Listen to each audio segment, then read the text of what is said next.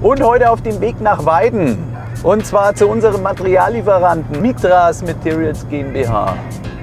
Und da schauen wir uns das mal an. Vom Granulat, vom ABS-Korn sozusagen, bis hin zum fertigen, zur fertigen Kunststoffplatte, die es in verschiedenen Oberflächen, in verschiedenen Farben gibt und ähm, die wir dann dazu hernehmen, um eure Spoiler zu produzieren.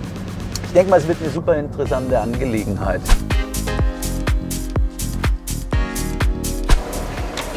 Und Servus, Hallo, Thomas. grüß euch miteinander. Hi Dominik, Na, grüß dich.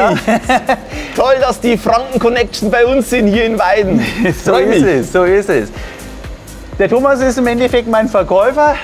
Es sind immer zähe und harte Verhandlungen, damit ich für euch den besten Preis bekomme. Aber unterm Strich funktioniert es immer gut mit der Firma Mitras. Und auch hier Jetzt, Dominik, servus. der Geschäftsführer. Hi, ja, ja. Servus. Servus, wie geht's? dann dürfen wir euch reinbitten. Gerne.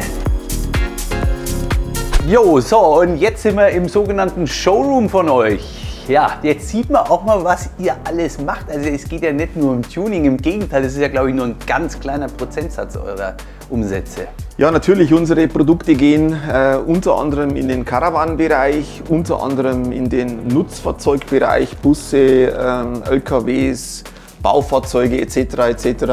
Die Dachboxen oben, unverkennbar, hier ist der Weltmarktführer dabei, die Firma Thule, die Thule-Gruppe. Auch hier geht es hier in den Tuning-Bereich, in, den, äh, in, den, in die Erstausrüstung hier. Also AMG ist das dann, oder? das könnte, so ein, das könnte so ein Teil sein, ja. Sowas ist doch Ja, das, ne? ja, Schaut so ein ja. bisschen nach, keine Ahnung, hier so C63 oder so aus. Ne? Und hier im Endeffekt Materialmuster, also nicht nur Oberfläche, sondern auch Farbmuster, wenn ich das jetzt richtig sehe.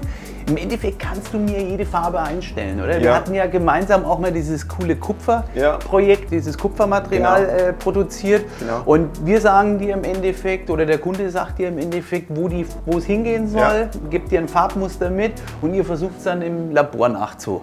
Also wir, haben, wir, wir machen ein eigenes, eigenes Color Matching, nachdem der Rohstoff, die Rezeptur klar ist, haben wir ein eigenes Color Matching. Wir haben also eine, eine eigene Farbkoloristik. Und wenn man hier so rüber schaut, hier sind nur spiegelbildlich ein paar, auch noch thermogeformt mit unseren kleinen Fahrzeugen.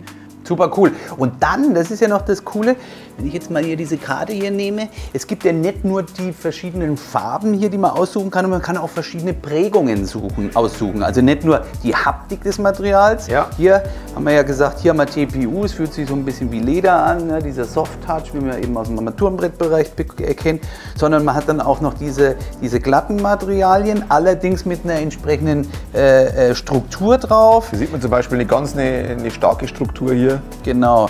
Oder hier, schaut aus wie wenn man Leder, könnte man mal einen Lederspoiler machen, wäre auch mal ganz witzig, ne?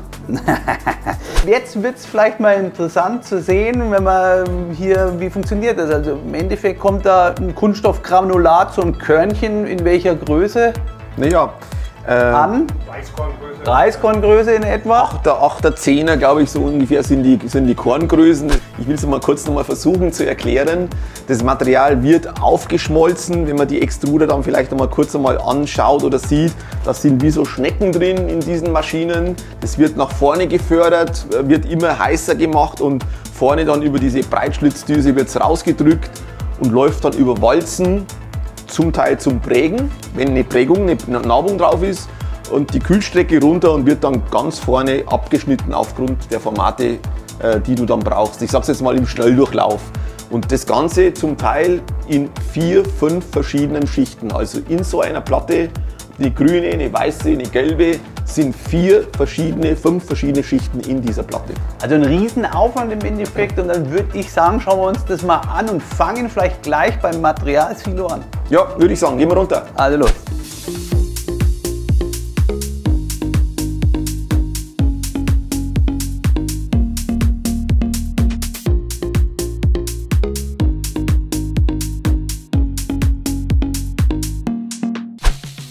So, Thomas, und jetzt sind wir hier in der Heiligen Halle, wo das Granulat aus dem Silo reinkommt. Habe ich das richtig verstanden? Ja, Okay, super. Also das heißt, das sind eure Anlagen? Die Halle hier selber existiert seit circa zwei bis drei Jahren. Wir haben hier investiert in zwei Extrusionslinien mit einer Breite von 2,20 Meter und 2 Meter Nettobreite.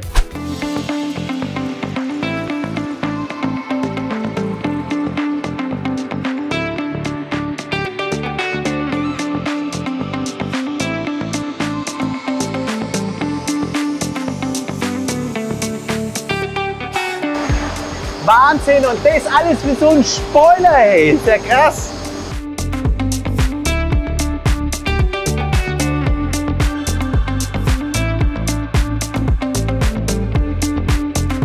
Ja, das ist jetzt das Acryl oder PMMA und diese paar wenigen schwarzen Körnchen ähm, in, den, in den transparenten PMMA geben dann die Farbgestaltung. Das ist schon ähm, ja, sind kleine Prozentzahlen. Und dass das so richtig tiefschwarz ist bei uns, und da haben wir ja auch äh, dem Wettbewerb oftmals einiges voraus, das ist dann der richtigen Rezeptur geschuldet. Genau. Und oftmals gibt es nämlich so andere Hersteller, gerade im Spoilerbereich bei uns, dann ist das dann mehr so Anthrazitfarben. Und die haben dann im Endeffekt fünf von den schwarzen Körnchen gespart. Genau. Und bei uns ist es wirklich tiefschwarz und ähm, farbig. So, und jetzt sind wir hier im Labor. Was ist das hier? Waschmaschine? Das ist hier dieser Quick UV-Test, diese QUV-Bewitterung. Die Maschine läuft also jetzt gerade. Die ist also bestückt mit diversen Mustern. Äh, da läuft auch immer wieder abwechselnd mal ist eine Spray-Funktion mit Wasser, dann wird wieder hier äh, wird wieder äh, getrocknet praktisch mit, mit UV bewittert und alle 256 Stunden werden die Proben entnommen und wird gemessen. Wichtig ist natürlich vor allem der, der UV-Test, weil wenn das Material einfach die UV-Beständigkeit nicht schafft, dann dringen die Strahlen durch und schädigen das Material runter, das ABS. Und deswegen ist die richtige UV-Einstellung auf jeden Fall wichtig und das wird auch bei diesen UV-Tests auch nochmal geprüft. Hier hinter dir ist der deutlich teurere Test, das ist der Xenon-Test. Auch hier, man sieht wieder, äh, brauchen wir sehr, sehr viel Wasser. Also hier so eine Testserie muss man ungefähr rechnen, mit dem Wechsel der Lampen kostet ungefähr zweieinhalbtausend Euro. Also eine Testserie. Ja, hier sind wir jetzt in unserem mechanischen Prüfraum. Wir prüfen ja alles hier äh, strikt nach Norm. Und unter anderem für ganz, ganz viele mechanische Prüfverfahren nach Norm ist äh, vorgeschrieben, dass wir in einem genormten Klima prüfen.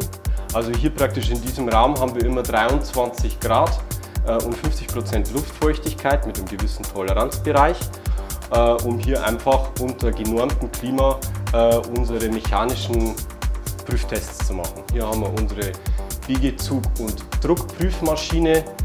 Mit, der, mit dieser Maschine können wir äh, den E-Modul messen, wir können die Schlagzähigkeit messen, wir können Biegeprüfungen machen. Wir haben hier einmal ein ähm, Gerät, mit dem messen wir die Schmelzevolumenfließrate von äh, unseren Kunststoffgranulaten.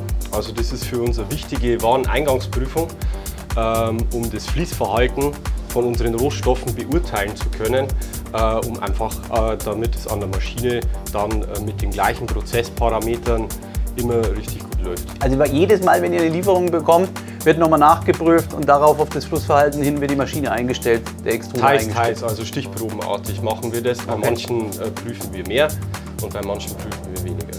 Und als zweites Prüfgerät haben wir hier unser digitales Mikroskop, mit dem wir überwiegend im Falle einer Reklamation Schadensanalysen machen. Wir können hier unsere Schichtdicken messen, wir können uns hier Oberflächen ganz genau anschauen. Äh, Man kann mit diesem Gerät auch 3D-Aufnahmen machen und äh, Höhenunterschiede darstellen. Genau, das wird überwiegend dann für solche Geschichten verwendet. Also wir arbeiten mit absoluten Profis zusammen, so muss es auch sein. Das ist der Grund, warum bei euch der Spoiler entsprechend High Quality ankommt. So, und jetzt an der Verladestelle. Rauf auf den LKW die Platten und ab zur Kundschaft. Thomas, vielen herzlichen Dank für die Eindrücke. Jetzt wissen wir und natürlich auch unsere Kunden und Zuschauer, was aus so einem kleinen Plastikgranulat alles geschehen muss, dass dann da am Schluss ein Spoiler wird. In diesem Sinne würde ich sagen, vielen Dank nochmal. Danke Dominik. Auf weiterhin gute Geschäfte und für euch dranbleiben, Daumen hoch, wohlwollende Kommentare und bis demnächst. CSR, Mitra. Mitras. Alles Gute.